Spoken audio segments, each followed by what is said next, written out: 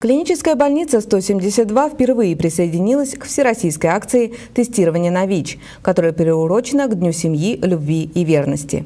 Обезопасить свои отношения можно от ВИЧ-инфекции только при условии прохождения тестирования на ВИЧ и сохранения друг другу верности. Пожалуй, на сегодняшний день измены могут слишком дорого стоить людям, они могут поплатиться как здоровьем, так и жизнью своей и своих близких, если это речь идет о ВИЧ-инфекции. Тест на ВИЧ димитровградцы могли пройти в третьей поликлинике для взрослых. Анализ проводился бесплатно и анонимно. Проводится это все абсолютно бесплатно.